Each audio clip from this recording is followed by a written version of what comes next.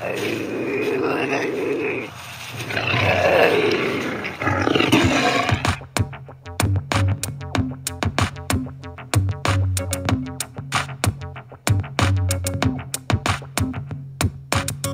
blast off in my time machine. Third eye feeling like an Evazine. Blast off, blast off, blast off in my time machine. Third eye feeling like an Evazine. Blast off, blast off, blast off, blast off. blast off on another episode of Hero Paranormal Podcast, broadcasting from the base at La Madre Mountain, just south of Area 51. My name is Ryan, the original outlaw of the airwaves, bringing you an epic episode tonight. They don't get much better. And ever since I talked to Nathan, uh, he's a second time guest on the show, I've been itching to talk to him again.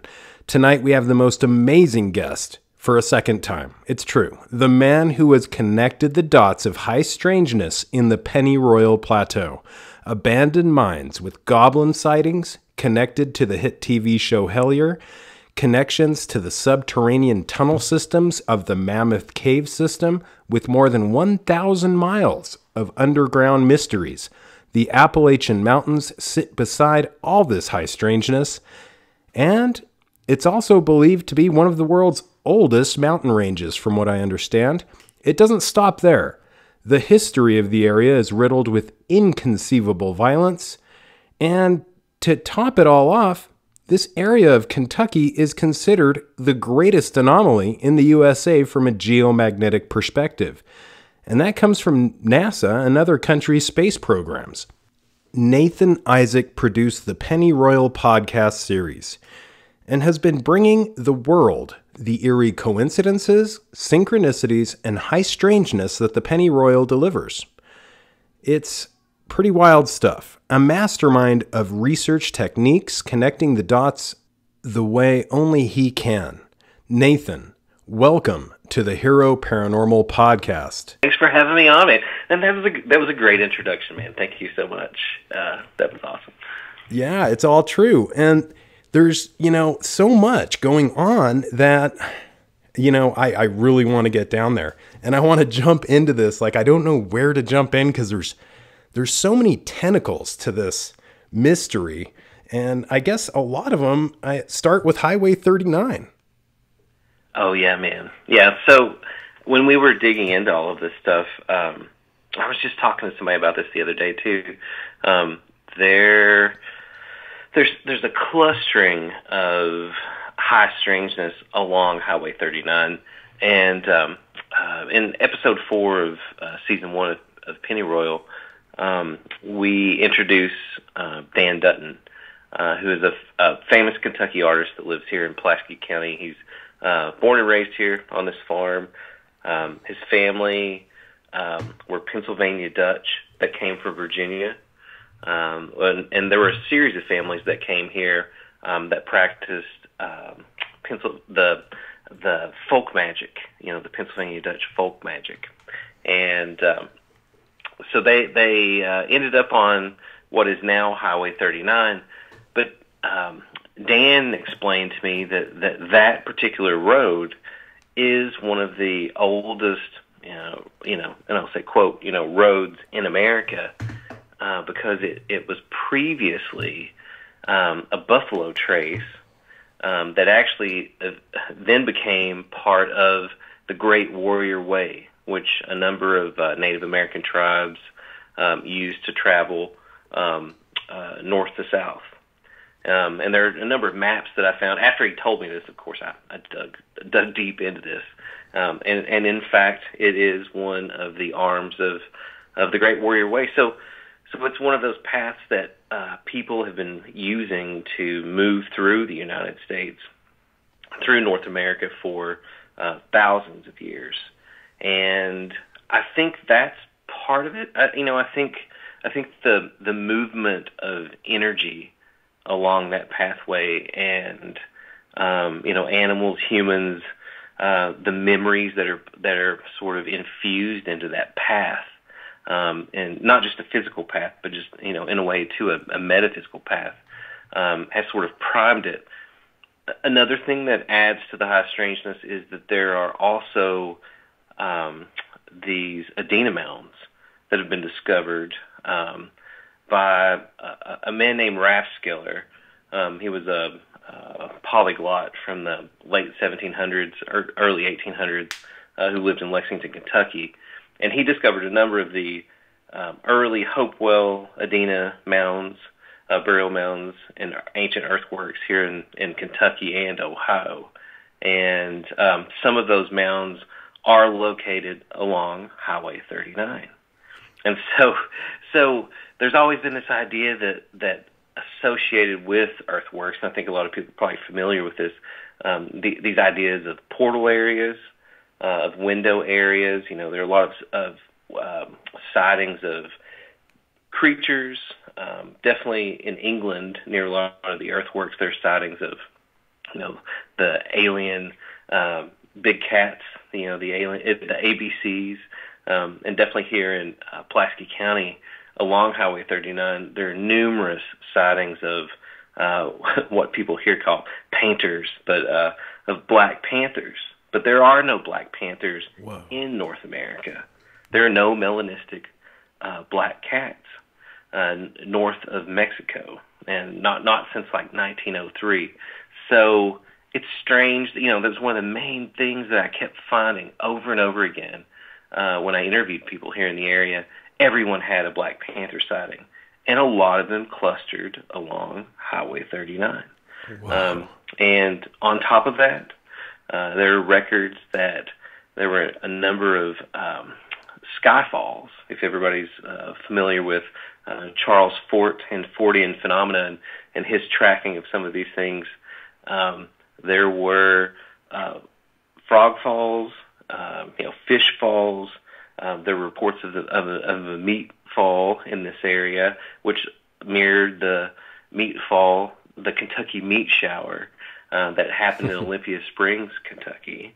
Um, and this all was along Highway 39, and, and along with that, numerous UFO sightings. So it, it, it it's one of the hot spots in this area um, that continues today. We, I mean, there there have been some recent uh, UFO sightings along Highway 39, and actually, this area uh, for the last three weeks has been in a major UFO flap. Well, I mean, I I know personally uh, over probably around 14 people that we've interviewed um, in the last you know three since the Fourth of July who have had uh, sightings of either triangles um, or orbs that were flying in the sky um, yeah, just a, a lot of strange things right now, and and in that that specific part of the county too. That's that's near Highway 39, toward the northern part of the county.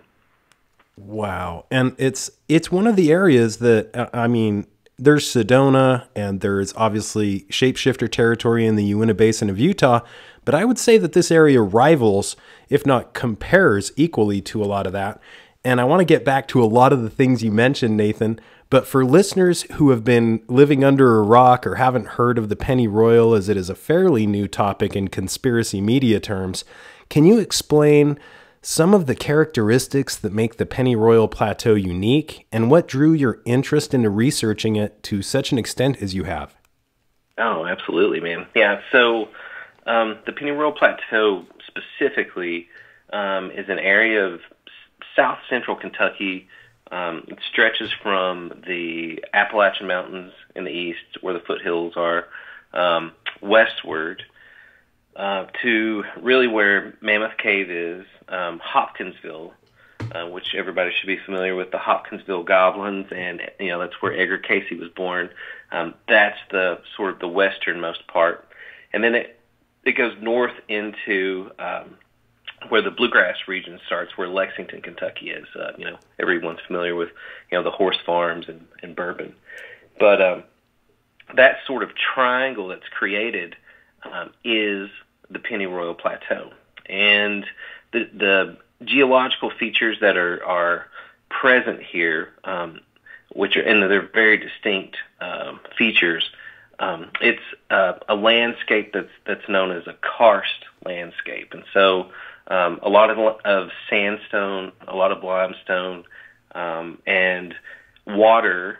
Um, you know, Kentucky used to be a um, you know part of this inland ocean um, in North America, you know, long, you know, millions of years ago, and so a lot of the water has um, created massive cave systems, and you know the western part of the Pennyroyal includes the Mammoth Cave uh, cave system, and that stretches all the way under the Pennyroyal Plateau, all the way to um, eastern Kentucky to, to you know to Elkhorn City, which is where Hellier is, um, and even here in Pulaski County, um, part of that cave system um, uh, that connects with that is another cave system called the Sloan's Valley Cave System, and um, that cave system is the I think it's the 13th or 14th largest in North America. Obviously, the Mammoth Cave is the largest, but um, but this entire region, um, and especially here in Pulaski County, uh, where Somerset is located,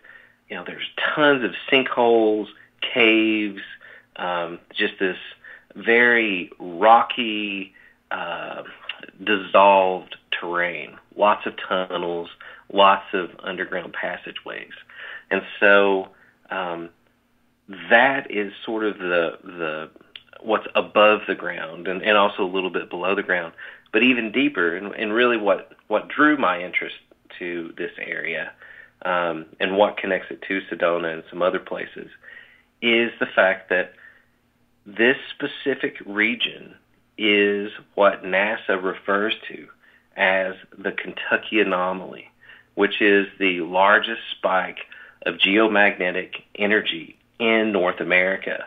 Um, the when you look at um, these uh, MagSat, uh, you know, imaging from these satellites, there are three hotspots in in North America.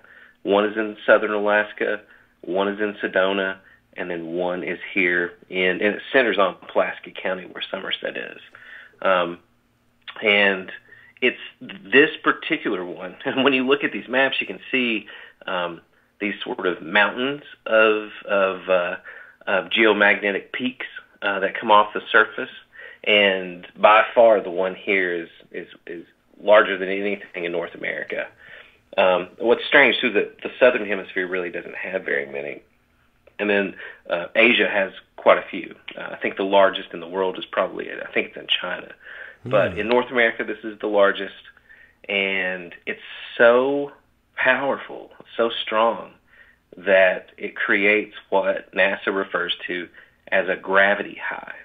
And so the gravity in Pulaski County is slightly higher than the rest of North America. I mean, not not by a noticeable amount, but it is detectable um, that there that there's more gravity here, and a lot of people report that. You know, they come here and they and they say they feel heavier here, and I and and I think that's more in a in a in an emotional sense, in a metaphysical sense, but um, you wonder if there's not some uh, physical element to that too because of the gravity high. Um, but really, the the Kentucky anomaly is what what caused me to look at this place and to, and to say, you know, is this geomagnetic energy is this intense, you know, electromagnetic field affecting the people that live here. You know, what kind of effect does that have on the populace? And and what we found out, and what's you know a major part of the story that we uncovered, is that it's caused this region to have a long history of extreme violence um, and issues with mental health. Um, and so, you know, that, that leads into all sorts of, of, of crazy stories, uh, you know, that we uncovered connected with that.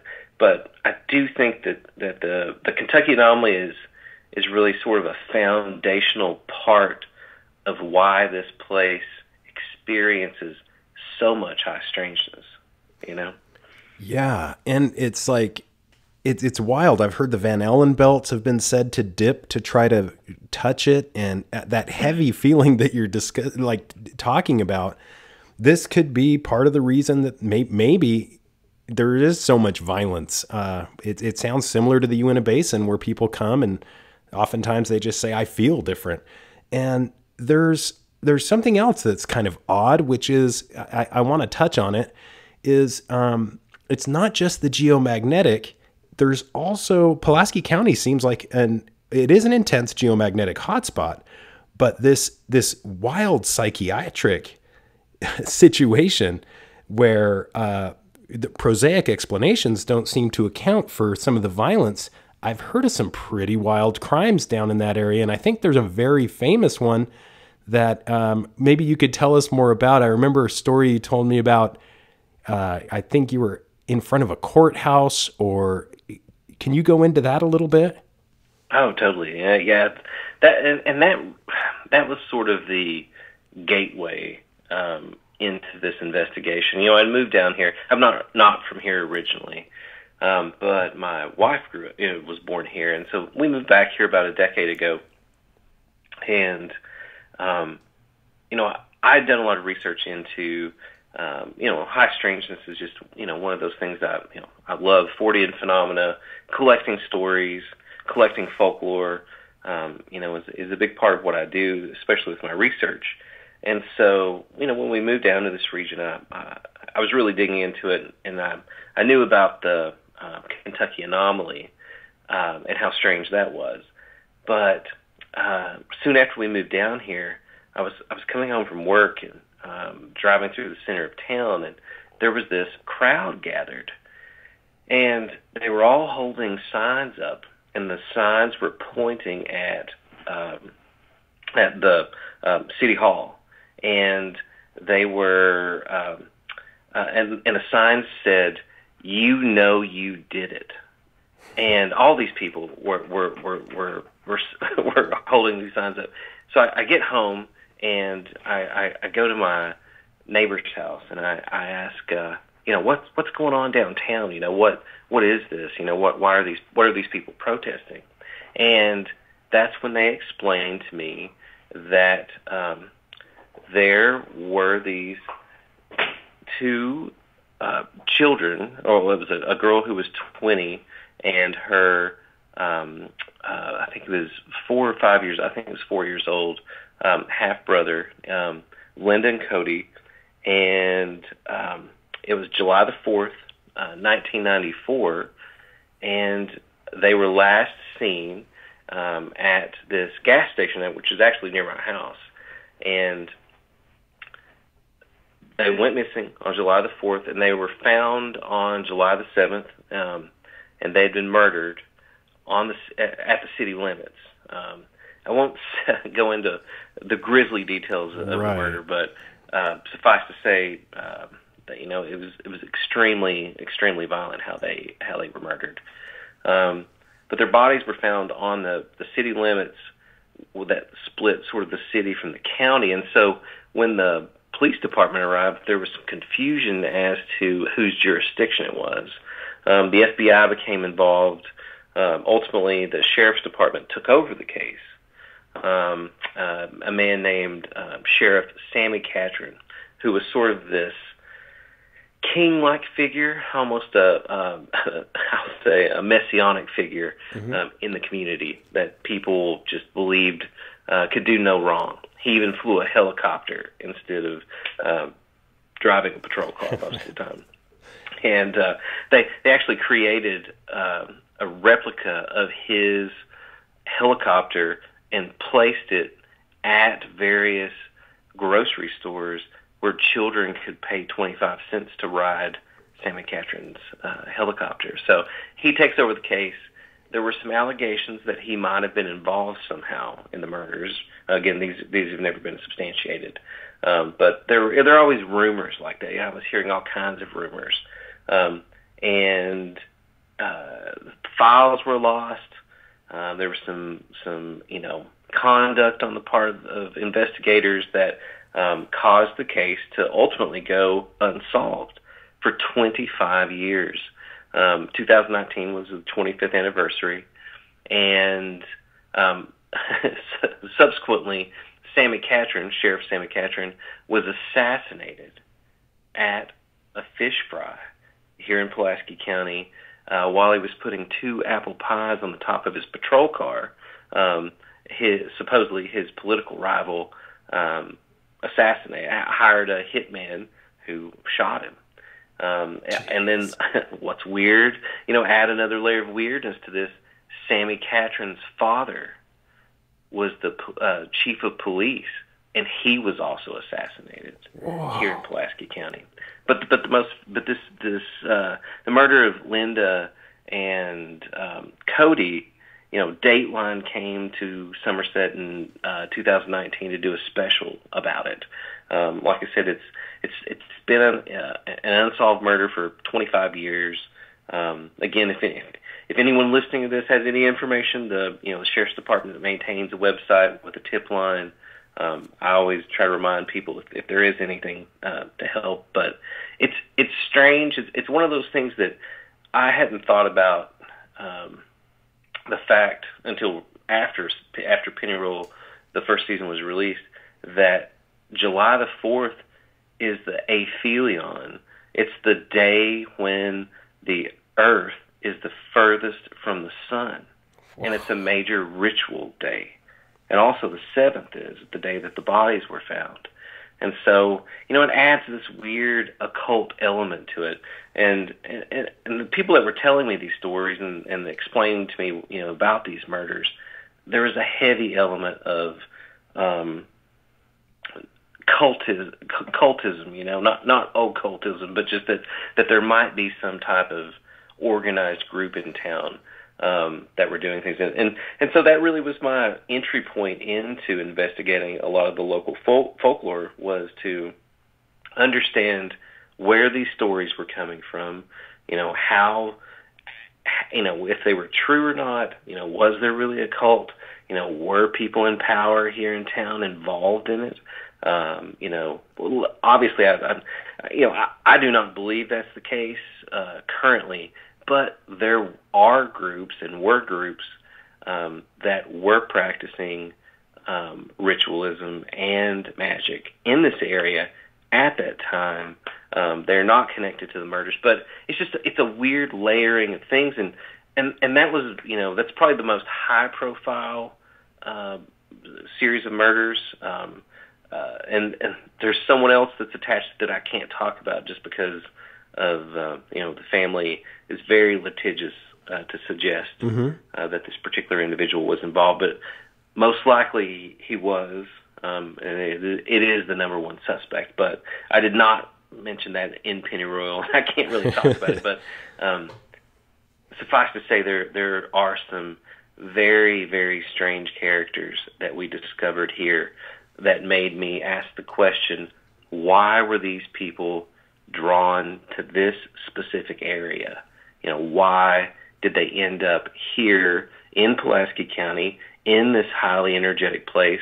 And then, you know, once we started digging into even just the violence, you know, and the murders, we found tons of these things. Just it was a pile of newspaper articles of the craziest murders and attempted murders and poisonings and assassinations uh, that you've ever heard, and all concentrated in this one area. And and and that's when I really started digging into the research of, of how uh, intense geomagnetic and electromagnetic fields can affect people's brains and and cause them to be more violent. Um, it's it's just so it's strange, and and also I think it's worth noting, and, and I mentioned this in the podcast that um, you know there's a a mental health facility in Lexington, which is about an hour north of here, um, called Eastern State. And we've interviewed a number of people that worked at Eastern State, and they remarked that any time someone brought up Pulaski County or was from Pulaski County, the doctors there were quick to note that, you know, it's like, what is in the water in Pulaski County because at one point, 70% of the people in Eastern State, which takes patients from all over Kentucky, they were all from Pulaski County. 70% were from Pulaski County.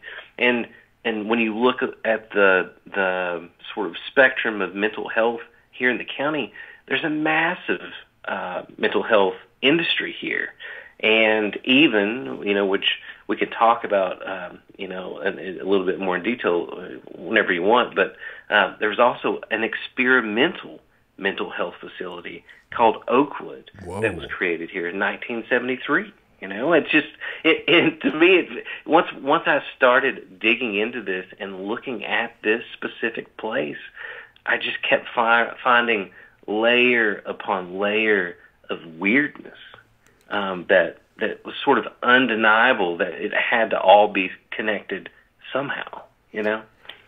I'm so I'm glad you said layer upon layer because yeah, it seems like it's just riddled with like synchronicities, connectivities, and you know where you see one strange thing, another strange thing appears, and it leads to other strange things. And you mentioned a few things um, earlier in the podcast, and I one I have to touch on is um, it looks like on the evening of August 21st, 1955, the Hopkinsville this is this is something that if people have not heard about this, it's one of the wildest stories. For listeners that haven't heard about it, a it, basically some people showed up at a police station and claimed that uh, small creatures from a spaceship were attacking them and their farm. Can we go into that story? Because that just wow.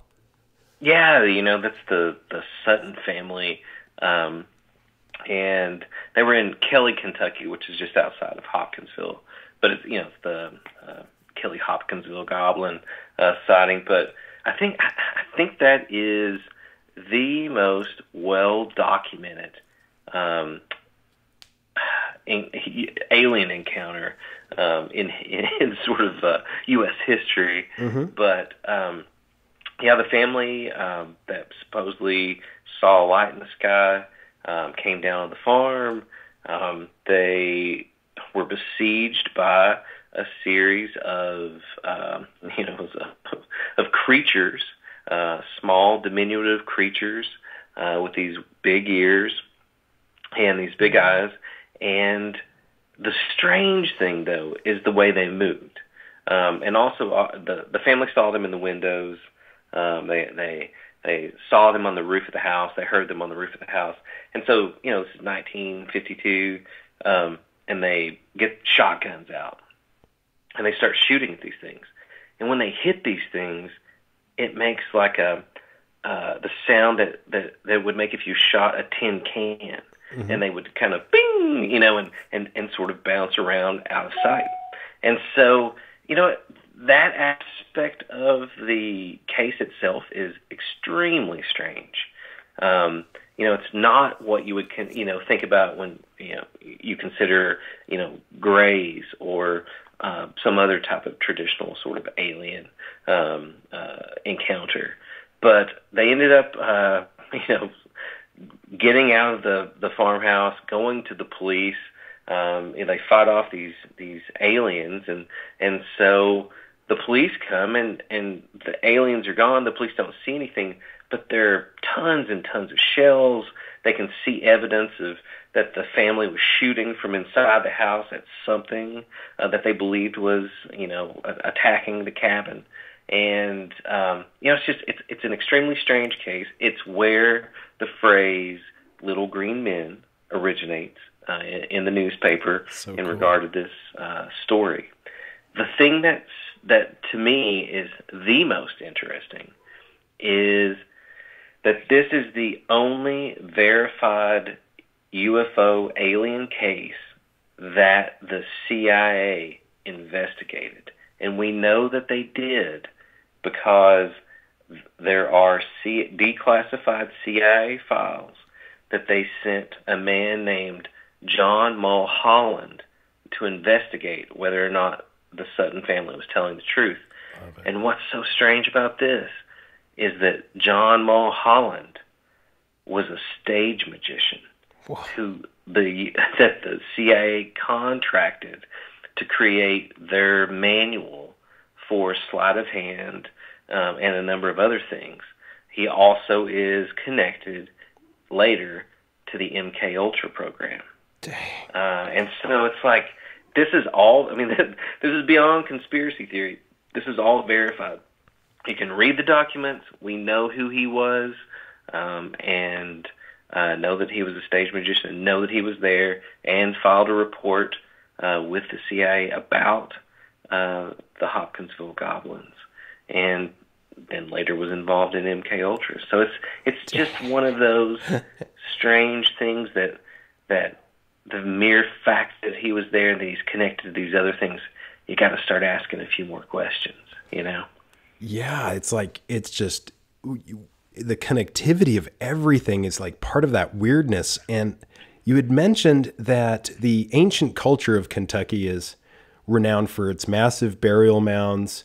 And uh, Kenneth Grant has said that the Adena may have opened some type of portal or anomaly that was never closed. Can we get into that weirdness? Oh yeah, I, I mean this is probably one of my favorite parts of of what we found too. Is um, yeah, if people are familiar with uh, Kenneth Grant, he is um, a ceremonial magician who was uh, the origin of the Typhonian order, um, and he uh, was at one point Aleister Crowley's secretary. Um, and I think it, I can't remember if he headed up the OTO at one point or attempted to, but mm-hmm. um, but he did. Ha- he had the Typhonian order. Now the Typhonian order you know, I'm not a practicing ceremonial magician, but um, but we've researched a lot of this and we've we've interviewed a lot of uh, magicians. So um, uh, it's it's interesting that uh, the Typhonian order sort of embraces even this idea of um, the old gods or something you know something akin to Lovecraft even, and there was a group uh, that was known as the Bate Cabal who were part of the Typhonian Order. Um, they were a magical group that had emerged from uh, a shop in New York City called the Magical Child. Um, they came from New York City. There was also a number of groups in the mid 1970s um, in Cincinnati. I think a lot of people don't realize how many magical groups were active in Cincinnati, Ohio in the 1970s. Uh, we found numerous articles about it. There were over a hundred uh, covens, but there were tons of different um, orders, magical orders that were pr- practicing ceremonial magic.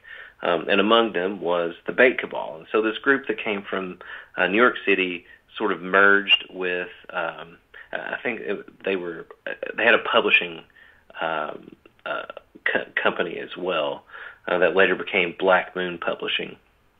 So the Bate Cabal published a, a journal called the Cincinnati Journal of Magic in the 1970s, and it was these guys were way ahead of everybody else in terms of uh, magical systems. Uh, we interviewed uh, Marco Visconti, who's a ceremonial magician in England, and um, you know he he's sort of his, a historian of these things, and and he explained to us that you know these guys were, if you think of magic as um, operating systems, that the Bate Cabal were, you know, a few opera, a few upgrades of operating systems ahead of everybody else. Just the way they were approaching magic. So, um, the woman, um, a, a woman named uh, Maggie Ingalls, headed up the Bate Cabal.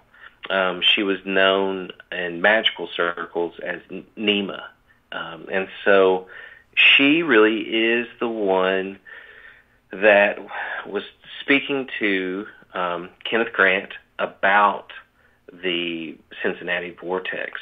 And so they were collaborating and talking about um, the fact that the Adena um, had opened this, supposedly, you know, had opened this um, rip in uh, space and time that allowed um, sort of uh, people to cross over uh, to the night side, you know, of, of like the tree of life. You know, that's how they they kind of saw that. It. But it stretched from the Cincinnati area down through you know Kentucky over top of this area, um, and sort of even over the Ashland area. But the primary place that Nema went to interact with um, this, um, you know, this this vortex uh, that opened up was the Daniel Boone National Forest. And so the whole eastern half of Pulaski County is this Daniel Boone National Forest. And what we found was that the Bate Cabal and these ceremonial magicians were traveling down from Cincinnati to Pulaski County to this to the area and this is what's crazy. The area that they were practicing these rituals is exactly the area that is the peak of the Kentucky anomaly. There are two peaks in this county that where the the, the heart of this thing is and one is in the uh, northeastern part of the county, and then one is in the southeastern.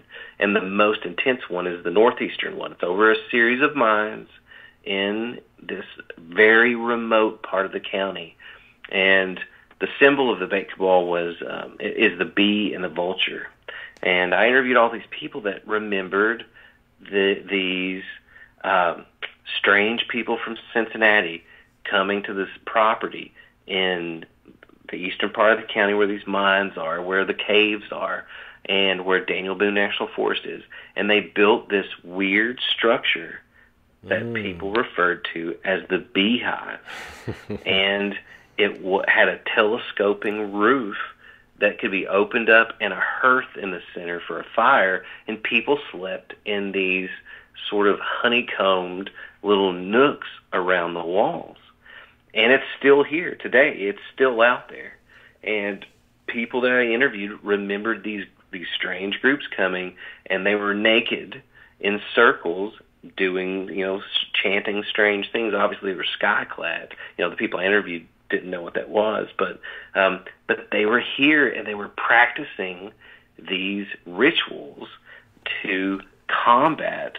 And when you read the the Cincinnati Journal of, of uh, Ceremonial Magic, you discover that they believe these elder gods, these old gods, and this sounds like science fiction, but they believe that these things, these alien intelligences, were attempting to cross what what the Adena had opened up and back into our world, our dimension, to enslave humanity. So they were performing time magic rituals and vortex magic and the and the rituals are I, I've collected all the journals and, and a lot of this is detailed in there um, that they were trying to stave off this invasion by these alien intelligences and trying to save humanity and and it's like that all was happening right at the center of the Kentucky anomaly, whether they knew it or not. Whoa. And maybe they sensed how energetic it was. But and then that specific area is where Hellier ended up. That's where the Newkirks ended up performing their, you know, ritual to Pan. It's where we discovered a number of other groups were practicing magic.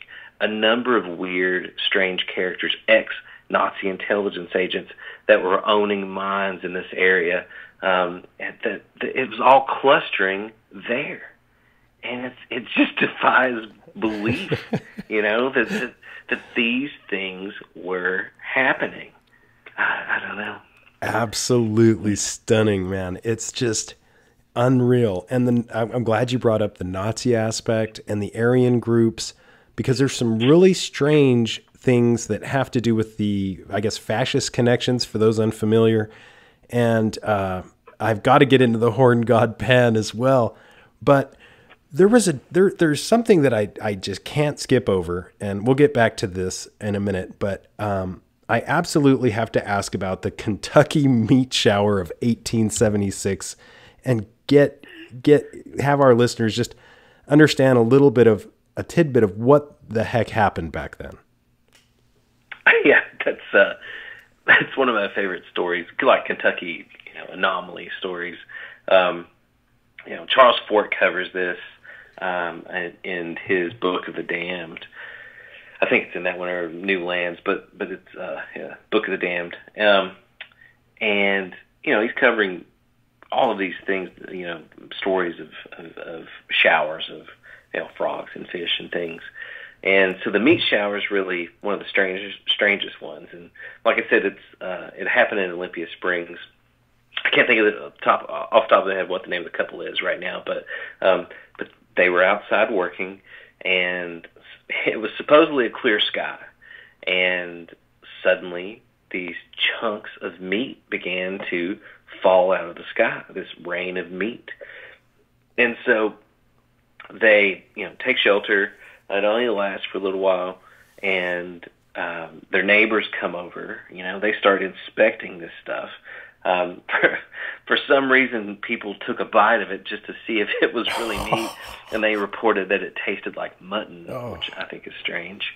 Um, and uh, yeah, it's just it, it, they couldn't explain what it what it had come from, but it, some of them were uh, large chunks, you know, that that sort of the size of uh, the palm of your hand, um, and then all the way down to smaller pieces.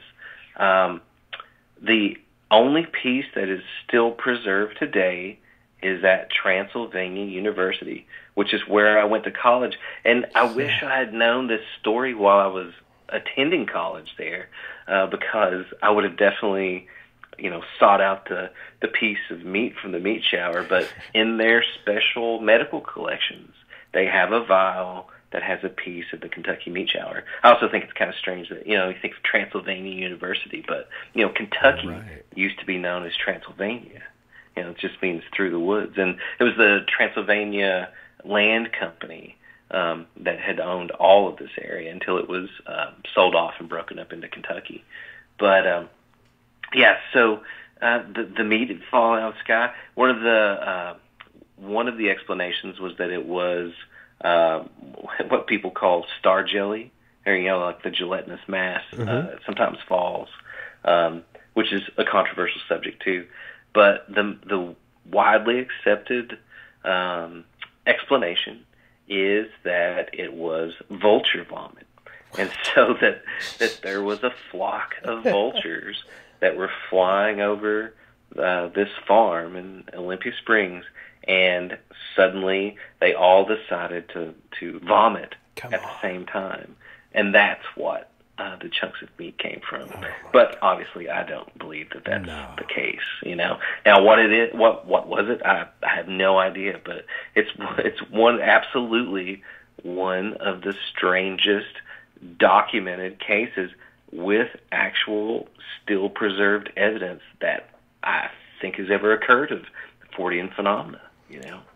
fascinating. It's just fascinating. And you- you're so knowledgeable about this stuff. I, I do want to get into um, the Nazi connection, but I also can't skip. It's, it's impossible to. Let's get into Pan and Yeah. those who have invoked and the, the horn god and his significance in the area. Yeah. So prior to um, prior to crossing paths with say, um, you know, Greg Newkirk and the Hellier team, which a lot of people are probably familiar with, the second season of that show and how it how it involves Somerset and uh, Pan. But um, before we had ever met them, there's an artist here um, that I mentioned earlier, uh, famous Kentucky artist named Dan Dutton. And Dan uh, created a series. He's a, he's a painter. He's a sculptor. Um, he composes opera, Awesome guy. and Dan uh, created a series of operas in the '90s and the early 2000s. And it was part of a uh, it was a four part uh, opera cycle called the Secret Commonwealth, which definitely is a nod to um, uh, I think Kirk is the guy's name, the the early book on fairies from like the 1800s, and so um, he did this four part opera. When he finished the opera, he took some time off and then began to work on a piece called The Faun. Very famous opera that he did, um, dance opera. These were all dance operas. And so um, The Faun focused on the story of um, Pan chasing Syrinx and another uh, nymph uh, to the water, where he, you know, Syrinx hides in the in the stream, and um, that's where you know it turns into she turns into reeds, and he plucks the reeds up, cuts the reeds, and then forms his panpipe that he plays, right? So, so Dan's uh, the Faun Opera focused on that. So while he was working on that, he ended up um, taking a job with the Kentucky Tourism Department, and they knew that he was a famous artist. They were choosing uh, famous Kentucky artists and writers to go uh, on these trips to create these tra- travel logs. And so Dan decided to go that he wanted to go to Elkhorn City uh, by way of uh, a town called Whitesburg and uh, document the beauty of that area. And you know, long story short, he begins that journey and immediately falls down what I believe was uh, a fairy path, right? That that he he gets to Whitesburg and his car gets stolen, and he can't find it. He gets the you know the police in, involved, and they and they end up finding his car, but it's not parked where he parked it. And it's such a small town, you can't misplace a vehicle like that and uh, and you know he's he's someone who who prides himself on studying memory and uh, what memory means and creating these memory palaces. And so um, that was strange. It was like that event sort of knocked him down the rabbit hole or into this this world of the Fae. And he went on to Elkhorn City, and he has this encounter in Elkhorn City where he encounters what he believes was the archetype of Pan. Now he's deep into the research of the faun, but the encounter itself is so strange and has all the hallmarks of of otherworldliness, you know, of this of this magical encounter. Um, and that that's what we cover sort of in the in the fourth episode. But um, Dan's entire sort of um, uh, life has has sort of revolved around Pan and, and, and it figures heavily into his work. So he tells me this story about this encounter that he had with Pan. I immediately am, you know, I, I, I work a lot with film as well, and I was like, we have to make this into a documentary. We have to mm-hmm. take you. We're going to recreate the Faun Opera with new actors and actresses. We're going to go to Elkhorn City, and we're going to restage that opera in Breaks Interstate Park which is a liminal zone. It's it's an you know this park that's between two states, literally, and and that's why he wanted to go there, you know, because it's a liminal place. And so I was like, we we're gonna go there. We're gonna restage the opera in the forest, and we're going to try to invoke Pan. Now, we worked on that for two years. Then Hellier shows up here in town. Um, uh, Greg Newkirk had met um, early, uh, uh, you know, a, a year or two before, Kyle Cadell, who owns the Paranormal Museum here in town. Mm-hmm. You know, they were at conventions together, um, and they would see each other, and so uh, we all knew about season one of Hellier. We didn't know they were filming season two, but you know, Greg shows up in town with uh, part of the crew and interviews Kyle for some stories, and then says, "Is, is there anyone else we should talk to?" and and suggest that they speak to me because I've been collecting all this folklore, uh, doing all this research, and so you know. If, if people have seen season two, you know I'm in episode eight, and, and the last half of that season is in Somerset, and they ultimately end up coming to Somerset, and they are sort of following this this uh, idea that that was presented to them in a work called The Rebirth of Pan, which was written by a very controversial author uh, who was William William Grimstad, mm-hmm. um, who was writing under the pen name Jim Brandon, and he published this work called The Rebirth of Pan, and it tied a lot into their investigation, especially into this whole uh, Parsons, power names. Um, there were elements of synchro mysticism that were also sort of baked into all of this. Wow. Well, they come to Somerset and they're chasing down this this cult that a witness has told them exists here, a cult that's worshiping the green man, Cernunnos, the horned god, right? Mm-hmm. And so they come here, they try to investigate that. Our paths cross. I, I don't know what all happens after that just because the show, you know, I didn't know if they were filming this for the second season or not. Well, when their show comes out a few months later and I watch it, you know, immediately I see that the, the episode I, I'm in is called The Secret Commonwealth, which is strange because of the sort of the synchronicity with Dan's work. And then the final episode, right? And, and a lot of that in, deals with Pan. The final episode, they attempt to invoke Pan here in Pulaski County, in the cave, awesome. in the area where the Kentucky anomaly is which I don't think they were aware of all of the, the things that sort of crisscrossed in that area.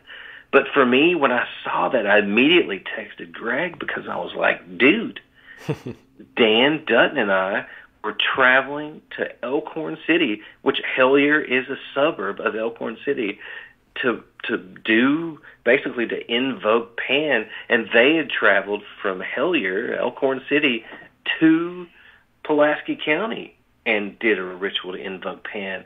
And I was like, it is beyond weird that that that happened. And so he texted me back and he was like, dude, I'm looking at Dan Dutton's picture on my evidence wall. And, you know, we didn't put him in the second season because I didn't know how he'd fit in there. And so throughout all of this, there was this heavy element of Pan. And then after their show came out and after Pennyroyal had come out, I started digging into this idea of is there a green man cult here? You know, is there any truth to that? Because it kept coming up.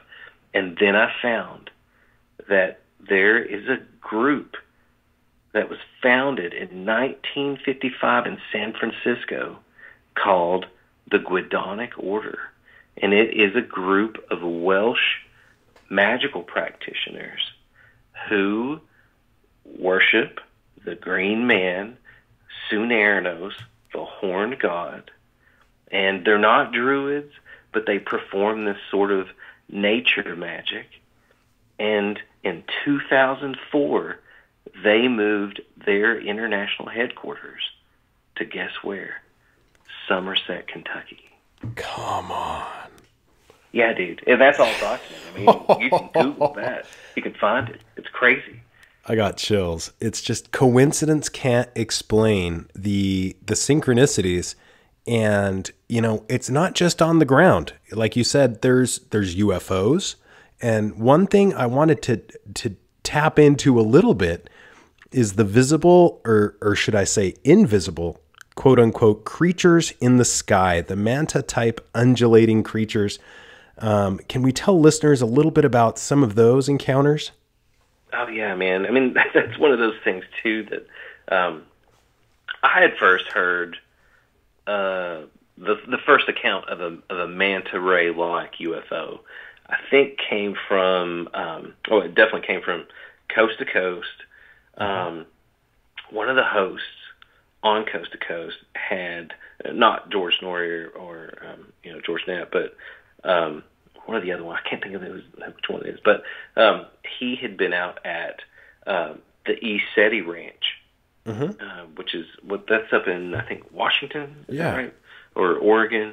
Um, but there's the ECETI Ranch up in, on the west coast, northwest, and they, you know, they they say that they can guarantee a UFO sighting, and they, they use some of these um, third generation um, night vision goggles, you know, to to look at the sky, and you can supposedly see um, UFOs in the infrared spectrum, but it has to be the specific type, and which are not sold in the U.S.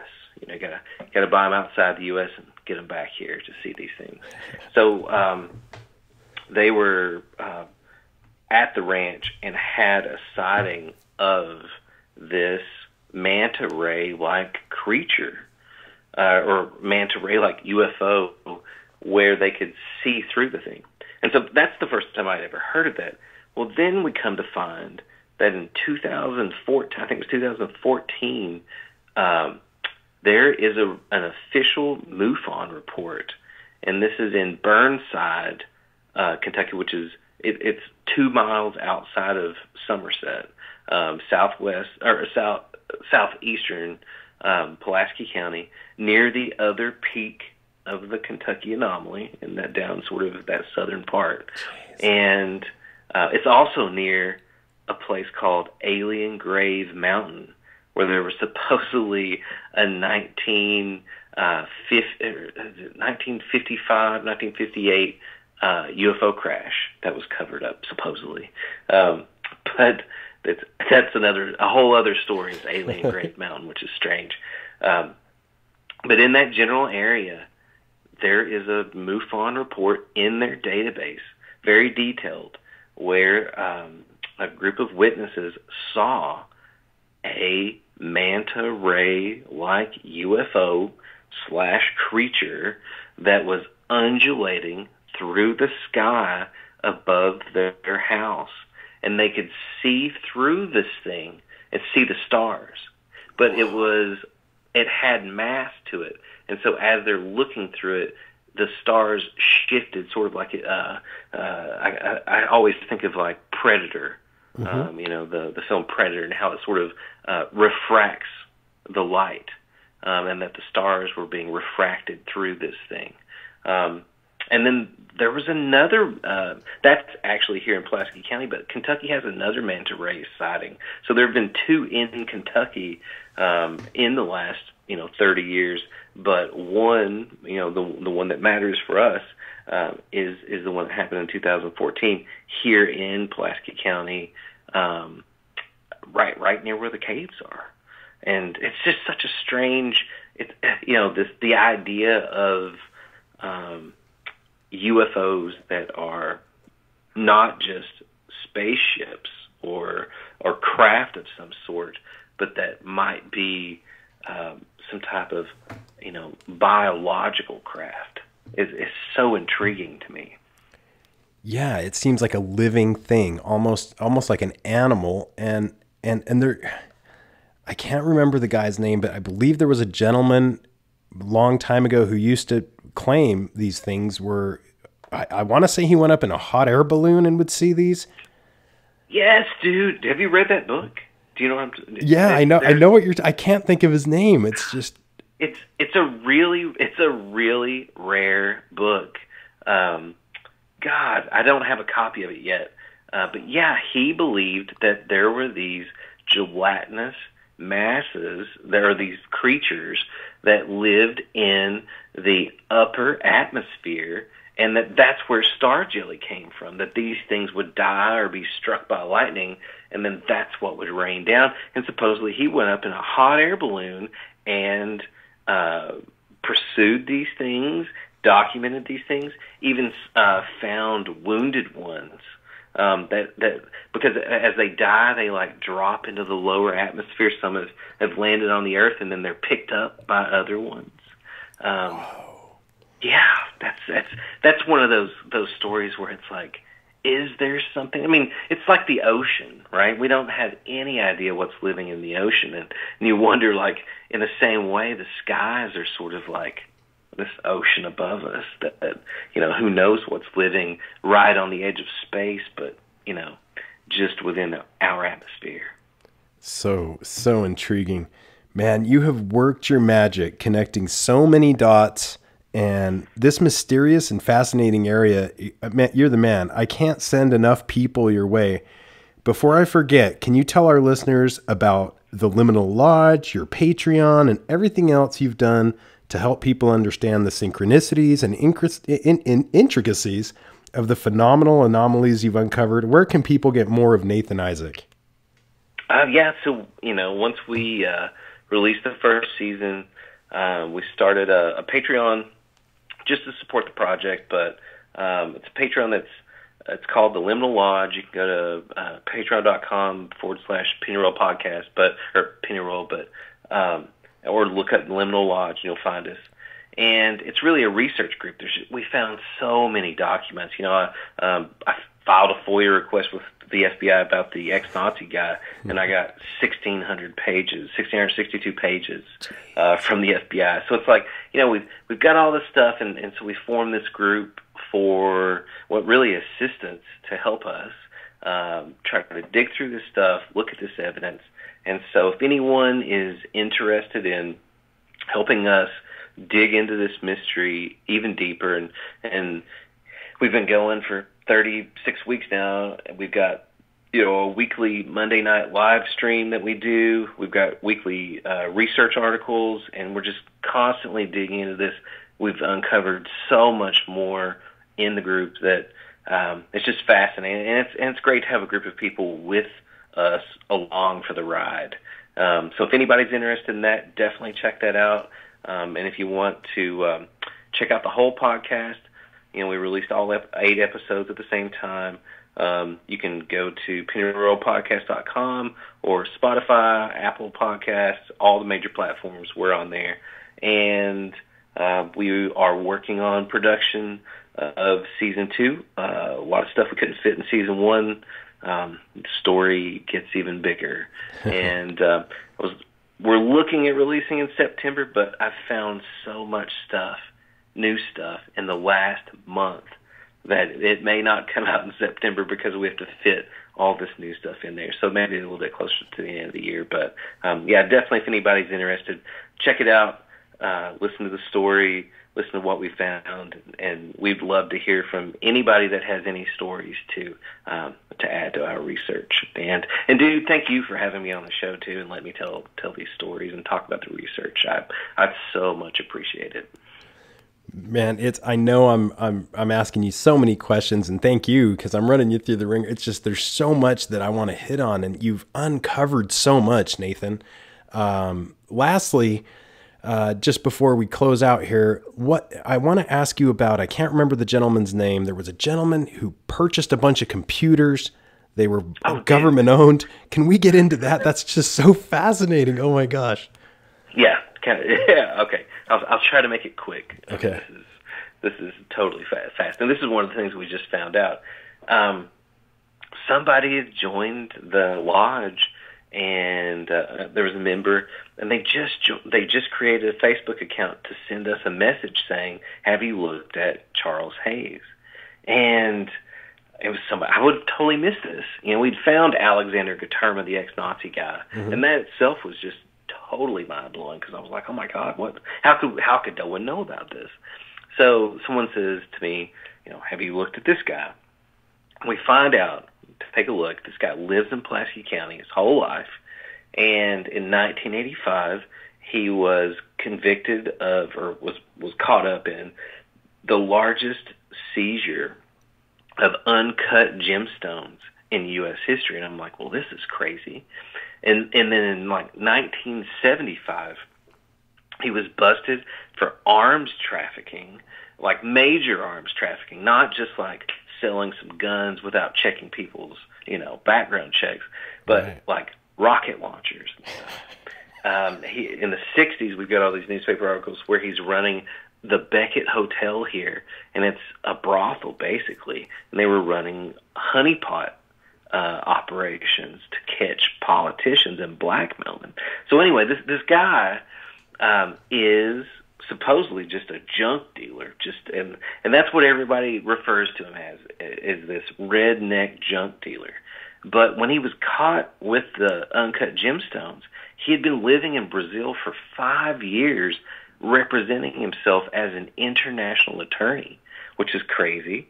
And um, the biggest thing that we found, the biggest connection was that he bought these computers from uh, the U.S. government, from the Justice Department in Lexington, Kentucky, um, at auction, a government auction. And supposedly they had not wiped the hard drives of software. So they, I don't know how they knew that they hadn't done this, but they they contacted him and they said, "Listen, we need those back." And he said no. And so then they they were like, if you don't give us those those, those back, we'll arrest you. He says you can't. I bought them, you know, fair and square. So then the FBI raids his farm. They take the computers. They wipe it. So they give him the stuff back. Well, later it turns out the software that was on there was this very famous. This is like old school conspiracy theory. Mm-hmm. This software called, and this is true, I mean, this existed, called Promise, P R O M I S. And it was created by a company called Inslaw uh, that operated out of Chicago. Well, the Promise software was sold to governments, you know, municipalities all over the world, all these different countries, as a private software, you know, privately developed software to connect their financial systems, their criminal record systems. But what they didn't realize is that Inslaw had contracted with the CIA to build a back door. So these salesmen were going around the world selling these things, and it's believed that Charles Hayes was, and he claims that he was an ex CIA contractor who was selling the Promise software in Brazil, and that he was paid with these uncut gemstones, and that's that's how he, Wow. you know, coming back to the United States gets caught there. Well, the government is like, this guy is not an ex-CIA agent, and he's just a junk dealer. Well, the government doesn't pay Inslaw its final six million dollar payment. And that's how we know about all this because Inslaw sued the government.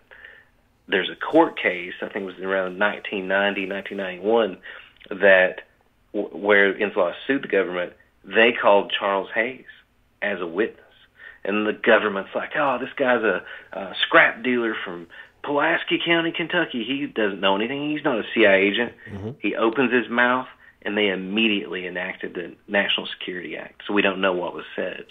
And this guy claims, Charles Hayes claims, that he was an ex-CIA contractor who used the Promise software and bought all of this government, you know, computer stuff with a number a number of other ex-CIA hackers to construct a Cray supercomputer that they were that, that communicated with the SATCOM system, and they were hacking with the Promise software corrupt senators' bank accounts and finding people that were, you know, on the take with the mob, on the take with terrorist organizations, and they were sending them manila envelopes that had the evidence and a letter that said, you have 24 hours to resign or we're going to release this information.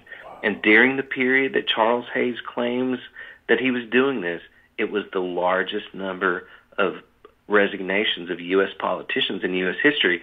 And so he, he gained the name the Angel of Death. And uh, he said that they had built this Cray supercomputer in the back of a semi trailer that they were driving around Pulaski County, around Kentucky, to keep it moving. And there are there's an episode of X Files that's based on this. Uh, that where they introduced the lone gunman, and there's a supercomputer in the back of a trailer. You know, the semi trailer is being pulled, and it's based on this story. Unbelievable. And there's so much more to it that that gets deeper into the origin of Bitcoin and how cryptocurrency may have started here in Pulaski County. And dude, the stuff I've uncovered. I mean, that's what the second season is about. This part of the mystery that we've uncovered, and I'm like, how is it possible that there's Alexander Guterma here, this ex-Nazi intelligence agent that you know was implicated in the JFK assassination, mm-hmm. and now some person sends me a message and, and then closes out their account and that says, "Have you looked at Charles Hayes?" And then we find this massive rabbit hole, and, and this all ties in, which, which is too much to go into, to the Danny Casolaro death and the octopus conspiracy and the number one witness where Danny Casolaro, just Google Danny Casolaro and the octopus, and I won't go into the story, but what you what what we found out is that his witness, the guy feeding him all the information about promise and about all this stuff, was Charles Hayes. There were thousands of phone calls to Charles Hayes that the the government and the investigators found after Danny Casolaro committed suicide or was suicided mm-hmm. in Martinsburg, West Virginia. You find out the number one person he was talking to, where all of this information was coming from, was Chuck Hayes here, Pulaski County. How crazy is that?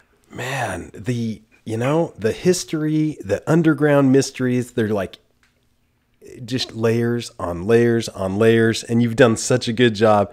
Everybody's got to cruise over to the Liminal Lodge. Go to you know, they've got to check out everything again. If you could tell our listeners one more time just where they can uh, keep up with everything you're doing and just the inconceivable mysteries that are riddled in this area. Let's just go through it one more time and I'll let you go. I know I've kept you longer than I said I would. Oh yeah, man. No, this is this is dude. I love talking to you about all this stuff. Every time, every time you and I chat, I love it, man.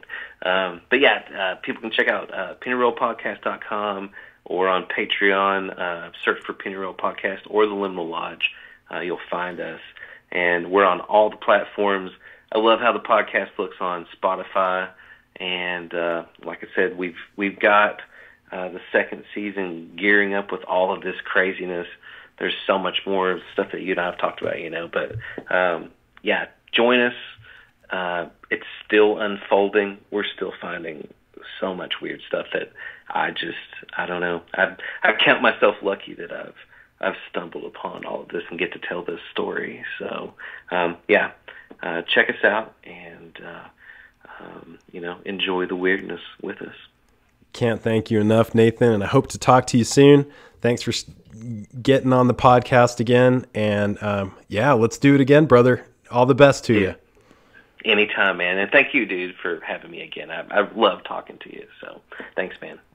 Guests don't really get much better than Nathan Isaac. I mean, the guy that's connected the dots of high strangeness in the Pennyroyal Plateau. I mean, everything from NASA to the CIA, underground mysteries, Appalachian Mountains. Wherever you think it ends, I'm telling you, friends, it's just beginning. And the nice thing about this is his research is still unfolding. Definitely head over to the Liminal Lodge, contribute on Patreon, and definitely listen to his eight episode podcast series. Can't say enough good stuff about Nathan Isaac. And uh, until next time, keep your eyes to the skies, feet on the ground, but don't forget to take a look around.